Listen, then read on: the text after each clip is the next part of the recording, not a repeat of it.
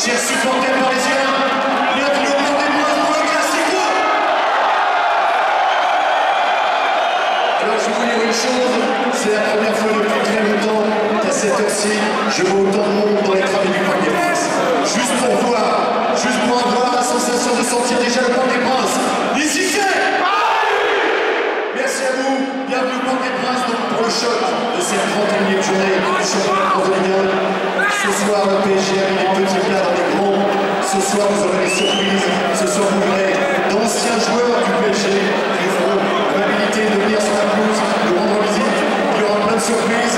Et dans un instant, on commencera